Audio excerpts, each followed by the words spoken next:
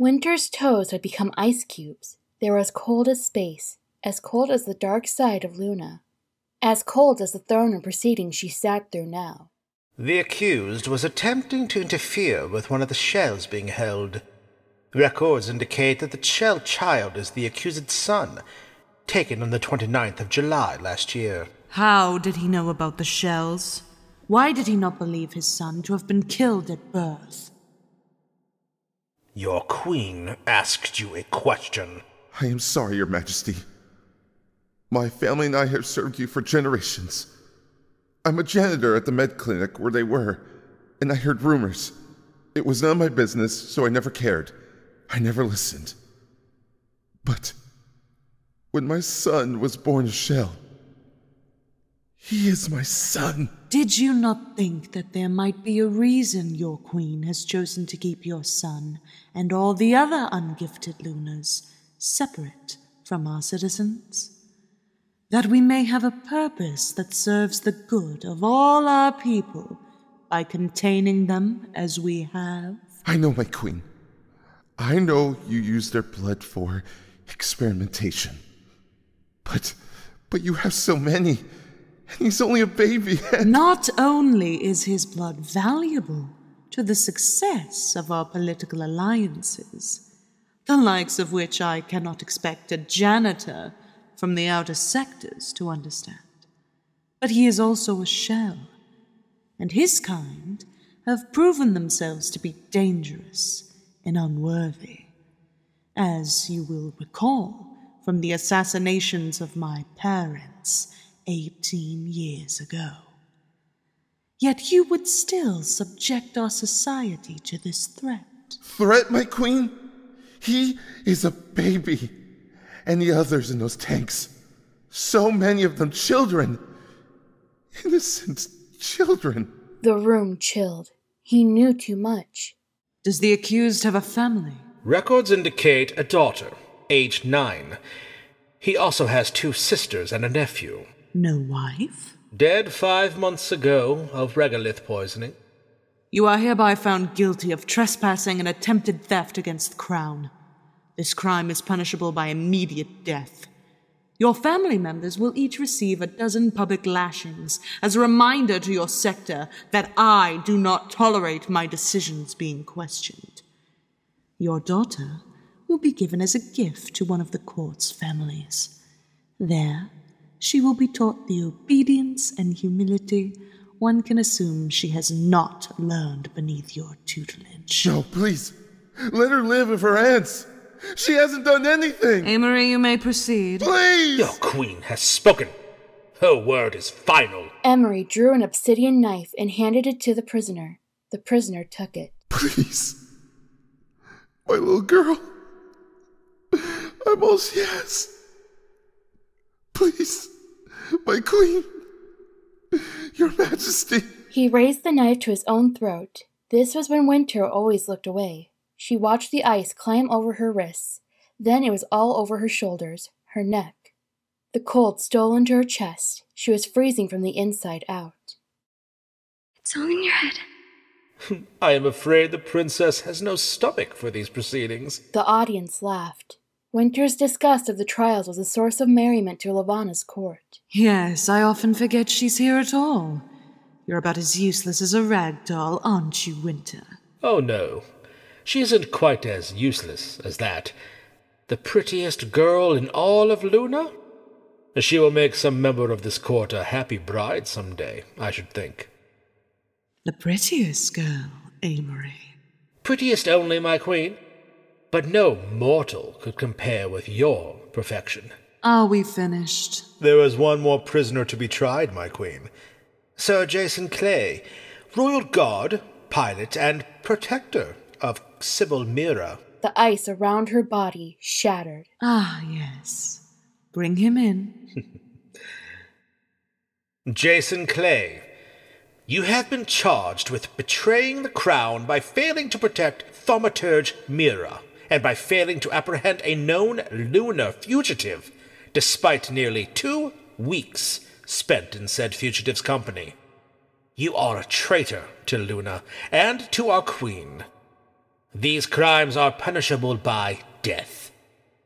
What have you to say in your defense? I plead guilty to all stated crimes except for the accusation that I am a traitor. Explain. As I've said before, I did not apprehend the fugitive while in her company because I was attempting to convince her I could be trusted in order to gather information from my queen. Yes, I recall that excuse from when you were captured. I also recall that you had no pertinent information to give me. Only lies. No lies, my queen, though I will admit I underestimated the cyborg and her abilities. She was disguising them from me. So much for earning her trust. Knowledge of the cyborg's skills was not the only information I sought, my queen. I suggest you stop playing with words. My patience with you is already running thin. During my time with Cinder, I uncovered information about a device that can nullify the effects of the lunar gift when connected to a person's nervous system. Impossible. Cinder had evidence of its potential. As it was described to me, on an Earthen, this device will keep their bioelectricity from being tampered with. But on a lunar, it will prevent them from using their gift at all. Cinder had the device installed when she arrived at the Commonwealth Ball. Only when it was destroyed was she able to use her gift, as evidence with your own eyes, my queen. How many of these hypothetical devices exist? To my knowledge, only the broken device installed in the cyborg herself. But I suspect there still exist patents or blueprints. The inventor was her adoptive father. This is intriguing information, Sir Clay. But it speaks more of a desperate attempt to save yourself than true innocence. If my loyalty cannot be seen in how I conducted myself with the enemy, obtaining this information and alerting Thaumaturge Mira to the plot to kidnap Emperor Kaito, I don't know what other evidence I can provide for you, my queen. Yes, yes, the anonymous tip Sybil received. I find it very convenient that this com you claim to have sent was seen by no one other than Sybil herself, who is now dead. Permission to speak, my queen? What is your name, and why do you dare interrupt these proceedings? My name is Liam Kinney, my queen. I assisted with the retrieval of Thaumaturge Mira's body. Mistress Mira was in possession of a port screen when we found her, and though it was broken in battle, it was still submitted as evidence. I wonder if anyone has attempted to retrieve the alleged com. In fact, we did manage to access her communications. I was about to bring forward the evidence. It was a lie, which gave Winter hope. Aimery hated Jacin. He would not give up anything that could help him. This is the port screen Sir Kinney mentioned. Our investigation has confirmed that there was indeed an anonymous com sent to Sybil Mira that day. A holograph of the com shimmered in the center of the room. Linh Cinder plotting to kidnap EC Emperor. Escape planned from North Tower rooftop. Sunset. I suppose you will tell me, Sir Clay, that this was the com you sent? It was. Have you anything else to add before I make my verdict? Nothing, my queen. I trust my stepdaughter would like me to spare you. Please, stepmother. It's Jason. He's not our enemy. Not yours, perhaps. But you are a naive, stupid girl. That is not so. I am a factory for blood and platelets, and all my machinery is freezing over. I have made my decision.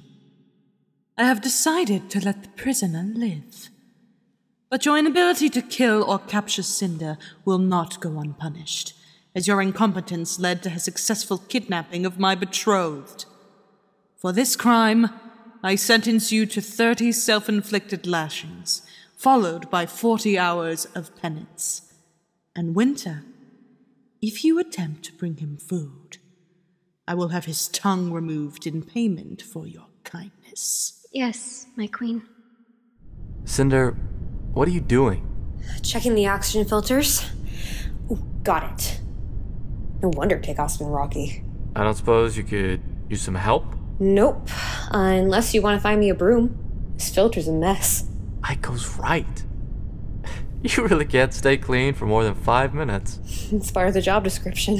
Where did you learn to do all this anyway? What, this? Anyone can clean an oxygen filter. Trust me, they can't. You know what all this does? Pretty much. I didn't learn it anywhere. I just look at things and figure out how they work. Once you know how something works, you can figure out how to fix it. Oh. You just look at something and figure out how it works. Is that all? It's just mechanics. No, no, it's it's impressive. Not to mention, uh, really attractive. Then he kissed her again. It was their 17th kiss. Her brain interface was keeping a tally, somewhat against her will. She wondered if she would ever get used to being desired, when she'd spent her life believing no one would ever see her as anything but a bizarre science experiment. Especially not Kai, who could have had any girl he wanted. What's wrong?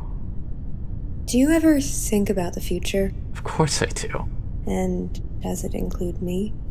That depends on whether I'm thinking about the good future or the bad one. As long as one of them does. This is going to work. One thing at a time. How's your training going? Fine. Sparring with Wolf is getting a lot easier, although it's hard to tell if that's because I'm getting stronger or because, you know.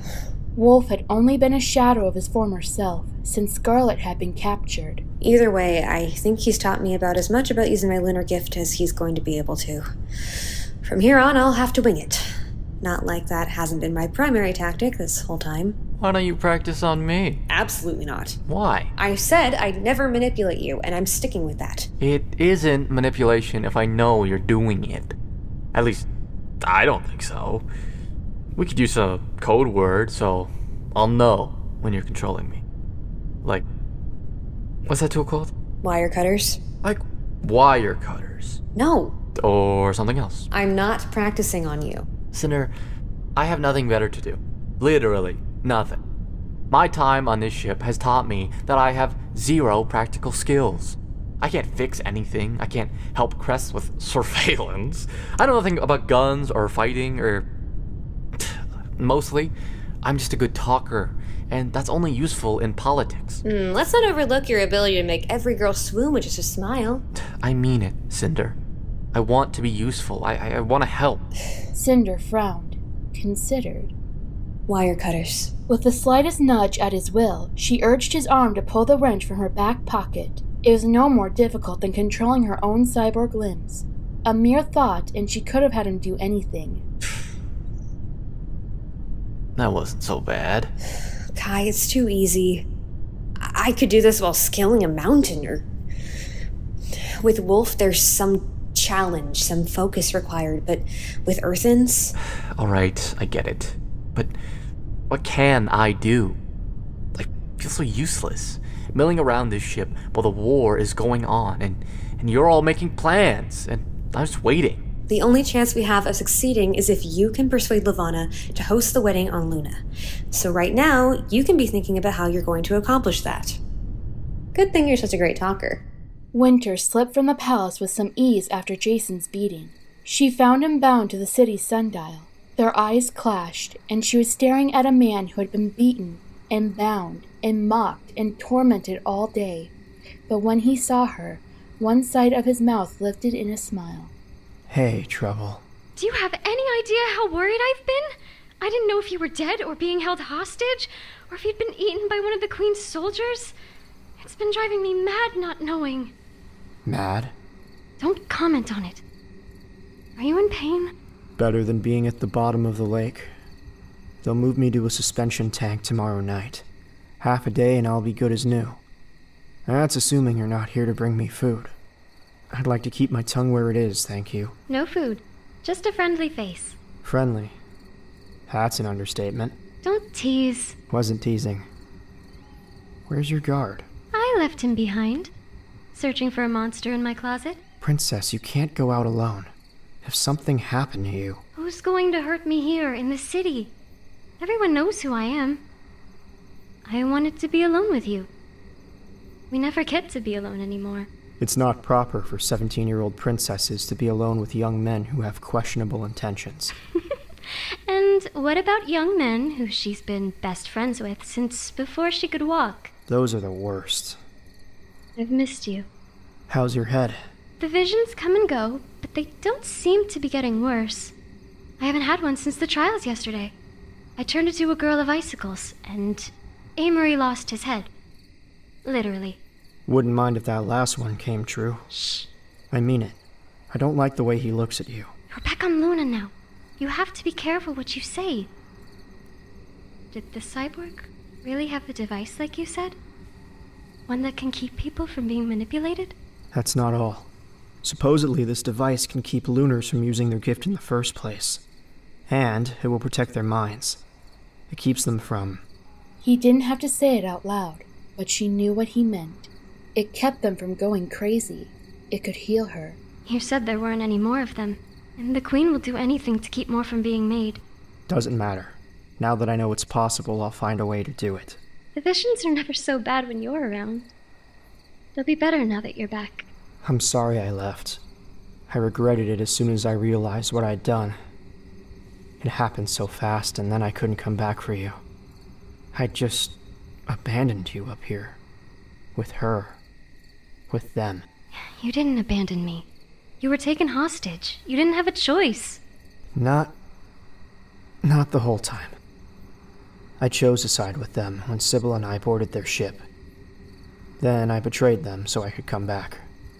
I'm such an idiot. You should hate me.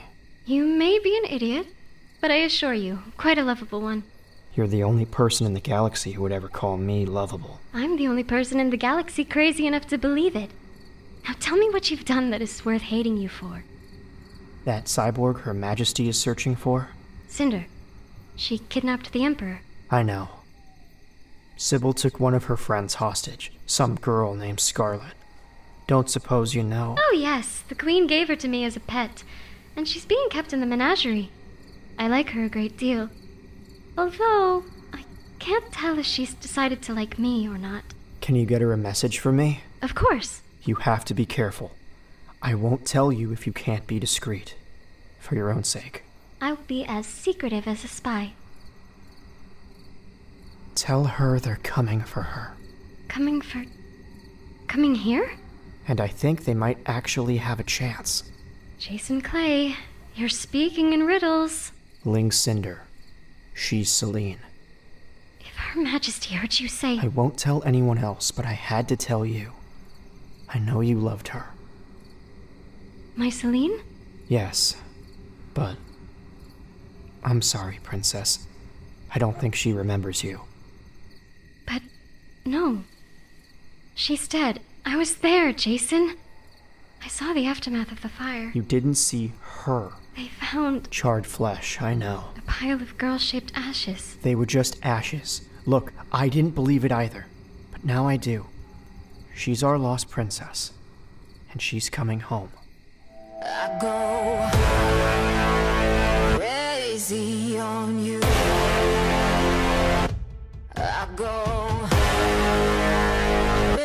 see.